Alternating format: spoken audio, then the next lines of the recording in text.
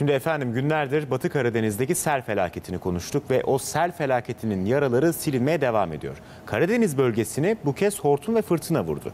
Artvin'in Şavşat ilçesinde sağanağın ardından etkili olan hortum, dolu ve fırtına nedeniyle birçok evin çatısı uçtu, ağaçlar kökünden söküldü. Ben hayatımda ilk kez böyle bir şey denk geliyorum.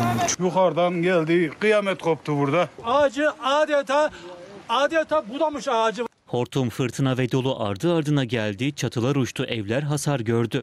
Artvin Şavşat adeta felaketi yaşadı. Pınarlı köyünde sağanağın ardından dolu yağdı, hortum ve fırtına oluştu. Hortum ve devamında oluşan kuvvetli fırtına sadece 5 dakika sürdü ama bazı evlerin çatısı uçtu, ağaçlar kökünden söküldü, elektrik direkleri devrildi. Evler yıkıldı. Buradaki insanlara acil yardım gerekiyor. Evsiz kaldılar. Can kaybı ve yaralanmanın yaşanmadığı afette kendilerini dışarı atan vatandaşlar zor anlar yaşadı. Evleri oturulamayacak duruma gelen köylüler yakınlarıyla komşularının yanlarına yerleştirildi.